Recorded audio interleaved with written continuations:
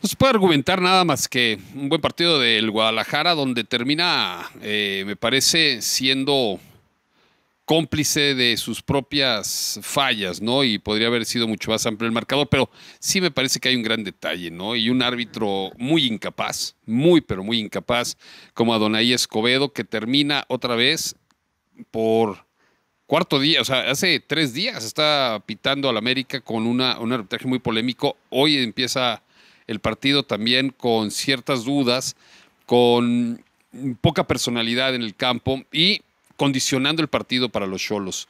Sí hay una, eh, hay una jugada clave, me parece, donde si bien un equipo con mucha pobreza, el equipo de Cholos hacia la ofensiva, sin tanta propuesta, con ciertos valores, parece que los jugadores los cambian, ¿no?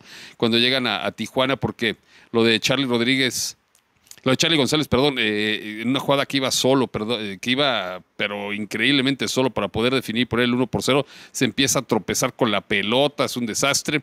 Y poca, poca ofensividad por parte del equipo de Cholos, hasta que viene la expulsión de Lucas Cavallini, que de verdad condiciona el partido, eh, condiciona el partido, y esto hace que, pues, la crisis me parece ya de mucho tiempo que lleva el equipo de Cholos se siga aumentando. No, no, no se ha visto, no se ha visto nada de Miguel Herrera, no se ha visto nada de evolución en el equipo del Tijuana y pues el equipo de Chivas lo aprovecha porque esa expulsión se da sobre el final del primer tiempo y ese momento, bueno, pues es aprovechado por el equipo del Guadalajara, que tiene una muy buena segunda parte, ¿no? Obviamente con un equipo ya cedido totalmente en el territorio ofensivo, no atacaban al equipo del Guadalajara y el equipo de Chivas pues eh, tomó la pelota, hizo lo que tenía que hacer, juega bien eh, el Piojo Alvarado, lo hace de una manera correcta, me parece que Alan también tiene un buen partido, Rey Gutiérrez bastante más digno que en otros partidos, y lo de Alexis Vega que empieza a tomar un poco más de ritmo, aunque sin ser nada espectacular. Ya en la primera mitad había fallado el Pocho Guzmán un penal. El nivel del Pocho Guzmán no está para ser titular en el Guadalajara, eso es la realidad.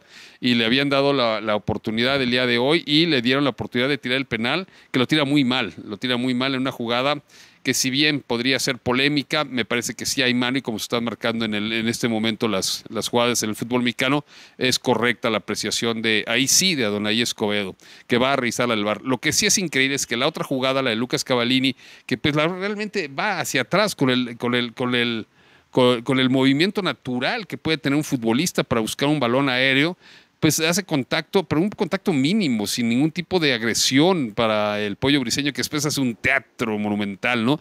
Y después la en un gol al, pollo briseño que me parece que es correcto. Sí hay una condicionante en el partido, sí la hay, y sí la hay a favor de Chivas, otra vez.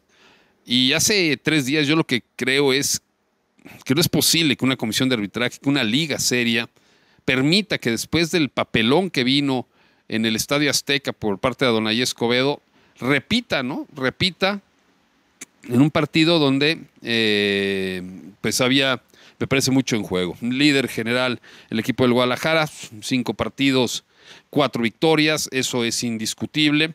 Hoy jugaron mucho mejor que en Juárez, hoy tomaron mucho mejor ritmo el equipo de Paunovic y me parece un merecedor eh, ganador, aunque insisto, sí hay una condicionante del árbitro, ¿no? Hay una condicionante con la expulsión de Lucas Cavallini, porque después en el segundo tiempo hay una jugada de Ríos que es exactamente la misma, exactamente lo mismo. Y no va a ningún lado. Eh, hay un jugador de Cholos que va y le dice, pues vela a ver al bar, ¿no? Así como ya expulsaste uno acá, pues ahora tendrías que expulsar acá. Pero no, no, no, no hay paridad de criterios, no hay personalidad de los árbitros, la verdad es que son una facha, no es un tema de, de la administración anterior, de la administración actual, es un tema ya de muchos años de la administración, desde Decio de María, ¿no? Desde antes, desde Justino Compeán. O sea, estamos hablando de que pasa presidente, pasa presidente, pasa presidente, pasa presidente. Los árbitros en México cada vez son más malos, definitivamente. Mm, una una cantidad de partidos, ¿no? Que se empiezan a juntar y juntar y juntar y juntar y juntar por aquello de haber cedido absolutamente todas las fechas a la League's Cup. Y bueno, pues vamos a ver cómo se desarrolla el campeonato. Por lo pronto, ya con esta victoria el equipo del Guadalajara, la cuarta que tiene el campeonato con más un empate, pues está enfiladito, ¿eh? Está enfiladito a la liguilla por el título del fútbol mexicano. Hoy de lo mejor que se vio del Guadalajara en lo que va el torneo, sí, contra 10 hombres el segundo tiempo, pero lo hicieron de ellos de manera correcta, me parece que ellos no son los culpables de este asunto, sino la crisis arbitral con la que pasa México.